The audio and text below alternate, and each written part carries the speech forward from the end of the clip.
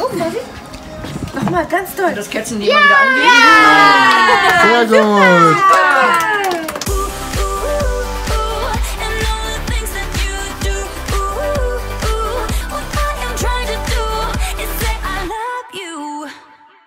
Einen wunderschönen guten Tag zusammen und herzlich willkommen zu einem neuen Video von mir.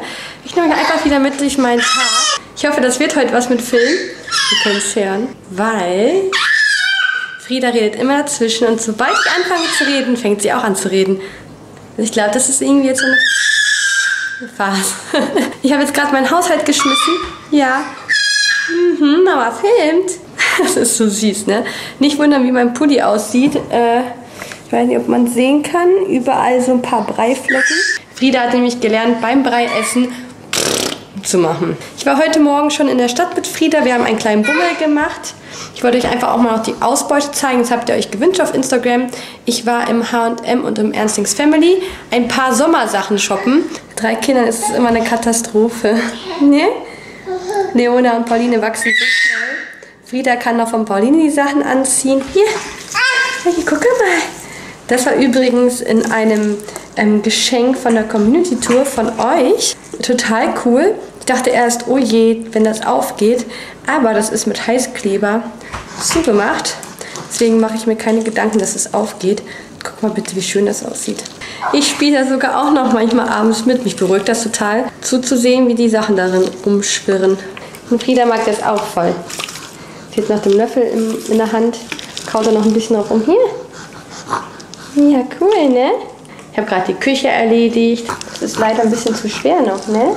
Und gleich kommt meine Friseurin, die macht mir wieder die Haare hübsch, denn der Ansatz kommt wieder durch. Dann sieht das gleich wieder alles viel frischer aus. Ich muss euch was zeigen, das ist eine fette Empfehlung von mir. Und zwar wollte ich euch diese coolen Boxen noch zeigen. Die habe ich von Douglas zugeschickt bekommen in Kooperation.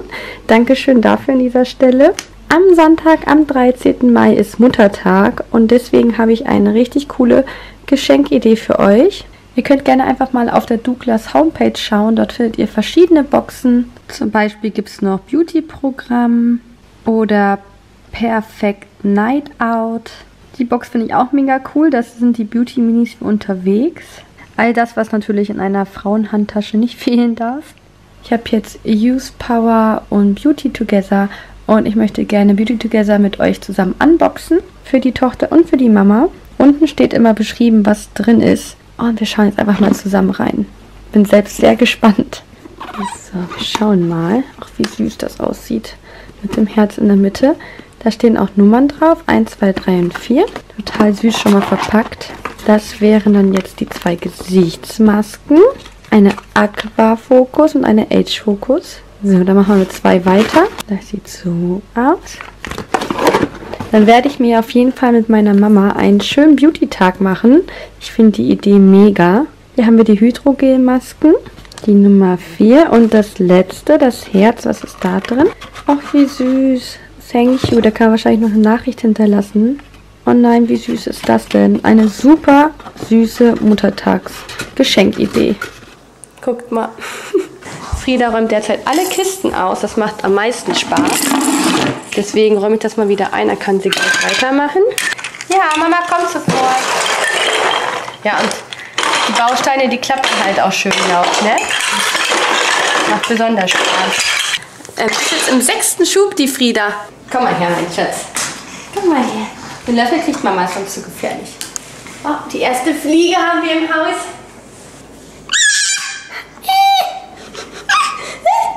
Der Alex kommt jetzt auch gleich von der Schule. Der hat in zwei Wochen Prüfung. Der ist nur am Lernen. Der ist so eingespannt. Ich lege die Kinder abends immer schlafen und er ist nur am Lernen bis in der Nacht. In der Nacht merke ich irgendwann, er kommt ins Bett gehuscht. Ne? Mama hat Muskelkater in Oberschenkeln. Von dem Workout. Guck mal, seht ihr das?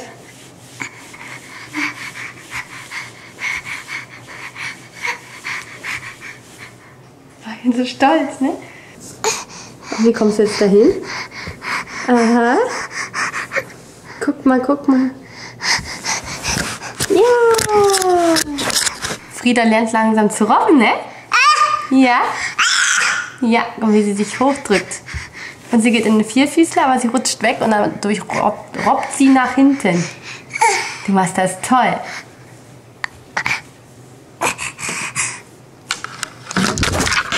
Super!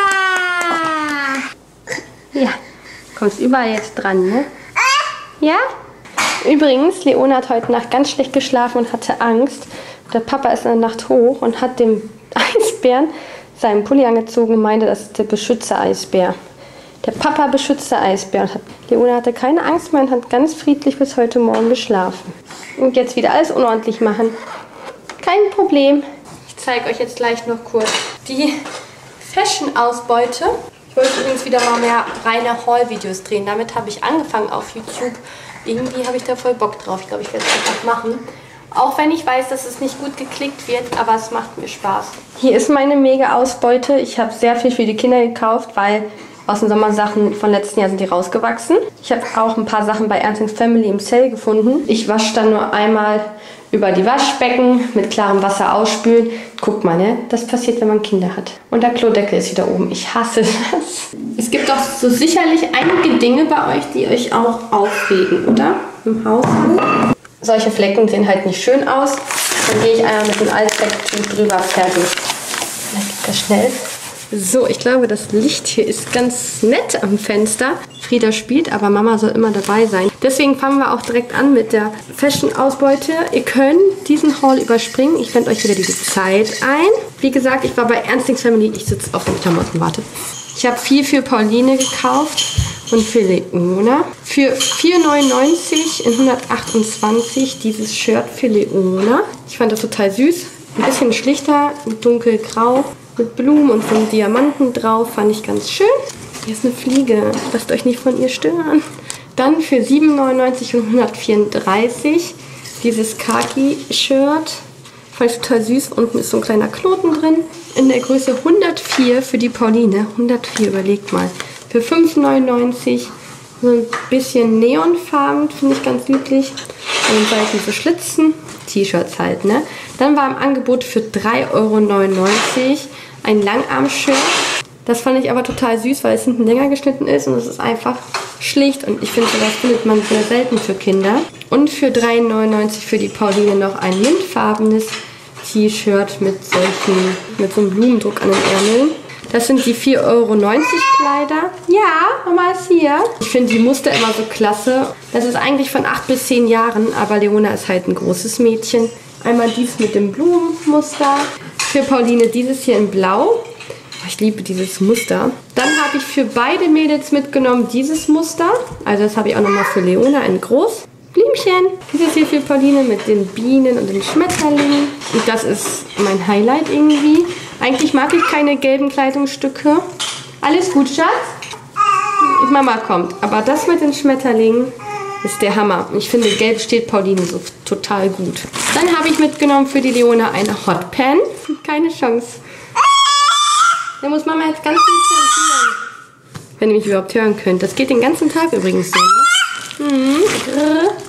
Dann habe ich eine kurze Shorts für Pauline mitgenommen. Guck mal, wie niedlich ist das bitte. Da, da, da, Schmetterling, voll süß. Willst du vielleicht mit der Käppi spielen, Frieda? Guck mal, die passt dir auch schon. Cool. Dann habe ich eine leichte Jacke für Pauline gesucht. In so einem Jeans-Look. Und drin gestreift, auch in der Kapuze. Für die wärmeren Sommertage. Ja, also lasst euch von dem Kreischen nicht stören. Das ist einfach jetzt die Phase. Dann habe ich mitgenommen für beide einen Badeanzug. Die haben beide den gleichen in so Marine gestreift, finde ich total schön. Achso, dann habe ich zugeschlagen für Frieda kurze Bodies. Also Bodies mit solchen Spaghetti-Trägern für den Sommer. Das sind immer drei für zwei. Für Leona und für die Pauline. Auch dieses Angebot 3 für 2 in verschiedenen Designs. Schlicht schwarz, Blümchen, grau. Das sind halt alle diese Basics. Da habe ich richtig viel mitgenommen. Kurzarm, gestreift, Aprikot. Partnerlook für beide. Das fand ich übrigens sehr süß, dieses Blumenmuster. Und so ein bisschen was gepunktetes mit Herzchen. Für beide Mädels Shorts mitgenommen, solche ganz bequem für den Sommer. Die tragen die lieber als die Jeans-Shorts. Ich habe mir ein T-Shirt mitgenommen, einfach grün mit Los Angeles drauf. Das Kleid habe ich noch für Leona mitgenommen, sie liebt ja Regenbogenfarben. Du Schatz, was machen wir jetzt? Sorry dafür, dass es so chaotisch gerade war. I, nein, nicht die Tüte in den Mund. So, ich melde mich gleich wieder. Aber Haare, wenn die Maus mich lässt. Herzlichen Glück zum Geburtstag, Pauline. Ja, das ist für dich. Oh, ein Baggerbuch. Einen wunderschönen guten Morgen zusammen. Wie ihr sehen könnt, befinden wir uns in der Küche, im Küchenchaos schlechthin. Ich bin nämlich schon dabei, Kuchen zu backen. Ich war auch eben kurz mit euch im Edeka einkaufen. Ich zeige euch das eben einmal schnell. So, ich bin gerade im Edeka und ich muss noch die Sachen für Paulines Geburtstag kaufen. Heute kommen alle, Familie, Freunde, Paten. Also es wird richtig voll heute. Und deswegen Grillfleisch kaufen bei dem schönen Wetter. Ihr könnt sehen, es ist so hell. Richtig schön. Es soll heute 26 Grad werden. Und ich bin gerade im Edeka und werde jetzt hier erstmal einkaufen gehen. Holen wir erstmal einen Wagen. Ich habe Gott sei Dank noch 1 Euro in der Tasche gehabt. Jetzt hätte ich mir keinen Wagen ziehen können. Ich mache heute eine Torte für Pauline. Und zum zweiten Geburtstag gibt es Meerjungfrau. Und ich muss ja ehrlich sagen, es ist gar nicht so einfach, ein Motto zu finden, wenn wir schon so viele Geburtstage hatten. Aber ich glaube, Meerjungfrau ist ganz cool. Und dann mache ich noch, also wir grillen, ich mache einen großen grünen Salat mit Feta-Käse. Genau. Oliven brauche ich. Genau, der Stand jetzt gerade ist, es ist gleich 10. Und ich habe meine, meinen Erdbeerkuchen schon fertig. Der sieht so aus, ganz klassisch. Für den Familiengeburtstag heute mit Vanillepudding drunter. Der Alex lernt für seine Schule. Ich habe noch ähm, weiße Tischdeckel gekauft. Das ist so Papiertischtuch. Das finde ich immer ganz schön. Weil die Pauline hat ja noch keinen Kindergeburtstag, aber die ganze Familie, Freunde und Paten kommen. Und deswegen kommen, glaube ich, schon zwölf Erwachsene. Dementsprechend Fleisch habe ich eben noch eingekauft. Das zeige ich euch. Das habe ich euch, glaube ich, nicht gezeigt. Hier ist Fleisch und da oben sind noch Würstchen. Und für Pauline wollte ich einen kleinen Kuchen machen. Himbeercreme. Hier drin befindet sich die Vanillecreme. Und dann mache ich da weißen Fondant drauf. Und eben schon gezeigt, Meerjungfrau. Da ist der Vanillepudding. Ich habe noch so Deko-Sterne-Konfetti gekauft. Die werde ich gleich auf den Tisch verteilen. Türkise äh, Servierten. Ich habe noch blauen Fondant mitgebracht für Paulines Namen. Und Geburtstagskerzen haben wir sogar noch von ähm, Leonas Geburtstag. Ja, Luftballons. Wir machen das gleich alles schön. Ich nehme euch ein bisschen mit. So, eine Stunde später. Ne? Wie sie guckt. Ich bin fertig mit dem Kuchen. Ich es einfach nicht. Aber ich habe mir sehr viel Mühe gegeben. Und ich zeige euch jetzt einfach mal die Torte. So sieht der Kuchen aus. Meerjungfrau mit Pauline draufgeschrieben, ein paar Muscheln drumherum. Ja, ich bin nicht so der Meister in so kreativen Sachen, aber äh, es, kommt drauf, es kommt ja darauf an, dass ich das selbst gemacht habe mit ganz viel Liebe. Da ist es egal, wie es aussieht. Ich glaube, man erkennt, dass es eine Meerjungfrau sein soll, oder? Wenn ihr einen guten Backkanal sucht, kann ich euch äh, Backlounge empfehlen. Und wer richtig gute Torten macht, ist Nicole Zuckerwerk. Schaut da gerne mal vorbei. So, meine Lieben, ich melde mich zurück. Es ist kurz vor vier. Genau, in einer Stunde kommen die Gäste. Ich habe schon alles vorbereitet. Ich habe mir auch schon hübsch gemacht. Ja, schön sommerlich. Das Oberteil ist von Zara. Ich habe jetzt hier das Buffet aufgebaut. Da kann sich jeder selbst bedienen. Dann habe ich den Tisch gedeckt. Hier ist mein Konfetti. Ganz gemütlich. Pauline packt gerade noch Geschenke aus. Alex bereitet den Grill vor. Sie hat ein Spiel bekommen von Fuchs und Kiwi. Mein Tier zu mir heißt das. Und damit spielt sie gerade ein bisschen. Noch nicht richtig, aber sie puzzelt. Ich zeige euch dann heute Abend, glaube ich, noch die Geschenke. Alex räumt noch auf. Nochmal ganz doll. Das Kätzchen ja. wieder angehen. Sehr gut. So, meine Lieben, einen wunderschönen guten Tag. Es ist der nächste Tag und ich wollte euch noch schnell die Geschenke zeigen. Genau, es war gestern Abend spät geworden. Wir haben hier alles aufgeräumt, dann war es das auch schon. Ich zeige euch die Geschenke jetzt von Pauline. Von Linda, der Patentante, hat sie das Pepper Woods Haus bekommen. Pepper Pig. Richtig, richtig cool. Ich bin gespannt. Sie liebt ja Pepper Woods. Das werden wir nachher mal aufbauen. Dann hat sie von Verena ein süßes Kleid bekommen von H&M. Oh, guck mal, ist das nicht süß?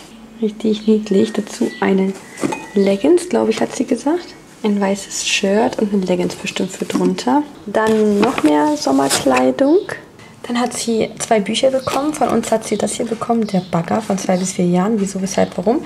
Ich liebe diese Bücher. Die kann man nämlich aufklappen und ganz viel entdecken. Und dann mein Soundfahrzeuge. Ja, Pauline liebt Fahrzeuge, wie man merkt. Ähm, Süßigkeiten, ein kleines Kuscheltier, eine Happy Birthday Süßigkeiten-Sorte, noch mehr Kleidung und jetzt kommt das Highlight, glaube ich, für Pauline. Ihr eigenes Mikro in Rot. Jetzt können die Mäuse zusammen singen. Ähm, in Leonas Geburtstagsvideo sieht man das auch, allerdings in einer anderen Farbe und jetzt ist so mega drüber gefreut. Ich mache gerade ein paar E-Mails und trinke einen Kaffee. Alex lernt wie jeden Tag ganz fleißig. Dann hat sie von uns noch diesen Bagger hier bekommen zum Spielen. Den findet sie auch ganz toll. Wie schon gezeigt, dieses hier, mein Tier zu mir. Und noch ein großes Geschenk draußen. Der steht da bei der Wäsche. Der Bagger für den Sandkasten. Der ist total cool. Der ist, glaube ich, bis 80 Kilo belastbar. Auf jeden Fall kann man sich da draufsetzen und dann baggern. Sie steht da voll drauf. Den hat sie von Oma und Opa bekommen. Das ist richtig toll heute, 26 Grad. Ups, was ist denn in Isabeau passiert? Ich habe mich gerade ein bisschen hergerichtet, weil ich für dieses Video noch einen Thumbnail gemacht habe mit den Geschenkboxen. Deswegen dachte ich mir ein bisschen hübsch aussehen. Und der Alex ist gerade mit Pauline draußen. Die kuscheln voll süß in der Schaukel. Ich zeige euch das mal. Die Geschenke habe ich euch ja heute Morgen gezeigt. Jetzt genießen wir einfach den Tag noch draußen im Garten bei dem tollen Wetter. Hallo. Hallo. Sieht gemütlich aus. Ist es auch. Esst ihr auch Schokolade da drin? ich höre es nur knistern. Voll heimlich. Die Wäsche müssen wir noch reinhängen, ne? Ich laufe hier schön mit weißen Socken über Rasen. Ist die trocken? Ich habe die Krabbeldecke von Frieda mal gewaschen. Ist trocken. Die war nämlich voll mit Brei und so. Ich habe euch ja schon erzählt, dass wir grillen wollen. Das haben wir gemacht. Und ich würde mich jetzt auch an dieser Stelle von euch verabschieden. Ich hoffe, es war nicht so durcheinander, weil ich so über mehrere Tage gefilmt habe. Ihr könnt mir das gerne mal in die Kommentare schreiben, wie ihr das findet. Und ich würde sagen, bis bald. Boah, tschüss.